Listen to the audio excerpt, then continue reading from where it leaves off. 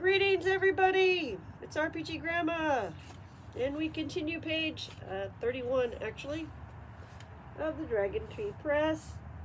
A chart on magical item generation with imagination. This is part two. Influences. So again, using a D100 to uh, randomly sort of get your mind going on how this magical item is going to work, what it's going to do and in this case, what it's going to influence, you need that D100 dice. Roll their dice. Number one, age. Two, air. Three, alchemy. Four, alignment. Five, angels. Six, animals. Seven, art. Eight, aura. Nine, battle.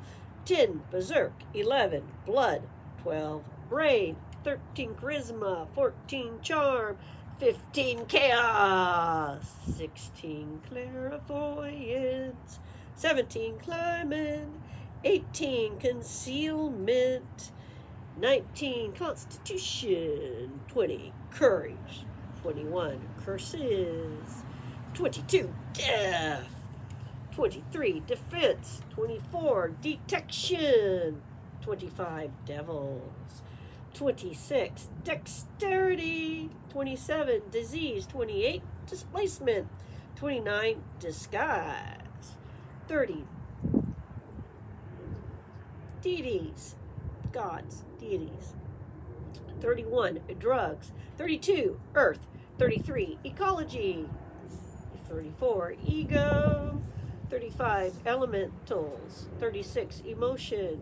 37 esp 38 ethereal. 39, evil. 40, fire. 41, flight. 42, gems. 43, healing. 44, health. 45, illusion. 46, infravision. 47, insanity. 48, intelligence. 49, languages. 50, learning. 51, life. 52, light. 53, location. 54, lore. 55, loyalty. 56, lycanthropy. 57, metals. 58, mind. 59, mirrors. 60, missiles. 61, money. 62, monsters. 63, morale. 64, passion.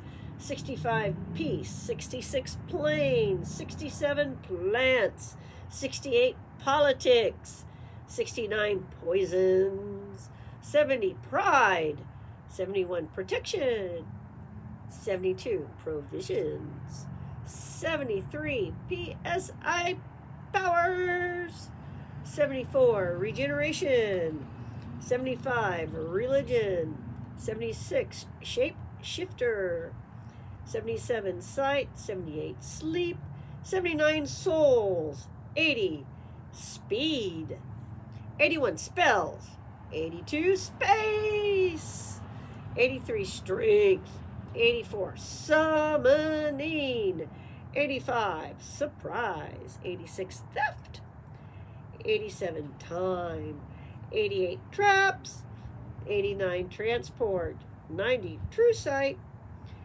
91 ultravision 92 undead 93 violence 94 water 95 weapons 96 weather 97 wisdom 98 woodcraft 99 x-ray and 100 that's zero zero.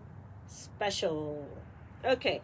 So your game might not have certain things like maybe it doesn't have ego. So you're going to gloss whatever your equivalent is in there. Um, maybe you have an idea like you want stonecraft. You want uh, metalwork in there. So you can definitely make your own charts. One of the reasons of looking at uh, uh, these kind of things is um, you may want to make up your own influence charts that are more specific to your setting and the actual system you're using. But this gives you a good start and uh, a good way to get the the mind rolling, you know. And so we've done strength, alignment, we've done the operation, so how strong it is, who can you, uh, its personality, um, who can use it without being damaged, that kind of stuff, who, who might it work for. We've done um, what it does. Now we've done what its influence. The next chart, part three, will be type of artifact slash weapon. What is it that you're creating with these dice rolls? Dun dun dun. Um, so we'll do that the next little video that I'm going to upload. Um, and you guys are, if you're watching these videos, you are probably the best audience in the world because I'm reading you off a boring chart. And I, I did my best not to do it monotone. So that's all the crazy voice inflections. So hopefully it helped. Um, so peace. Love you guys.